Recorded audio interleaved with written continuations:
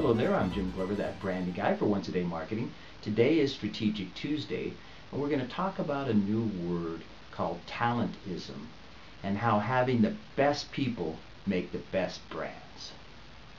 What is talentism? Well, when you think about it, people are critical to the success of your organization and to your brand.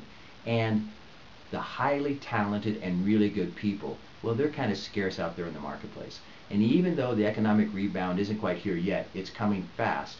And having the right people in your organization is going to be key to the success of your company.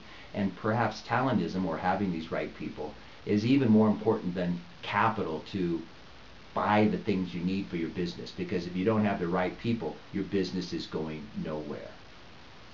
So if there aren't a lot of highly talented people out there, and with the turnaround in the market, soon everybody's going to be in demand if they have those talents.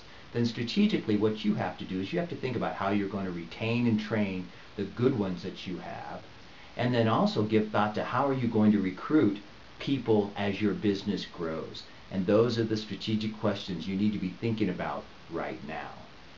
With the inevitable turnaround in the market, you have to be aware that your best people might have opportunities outside your company. So if you really want to keep them, think about how you're going to do that. But there's a good thing to this as well. Talentism might become part of your brand if you actually go out and seek the best talent and keep the best talent and those people interact with your customers, that's going to be a very positive reflection of your brand.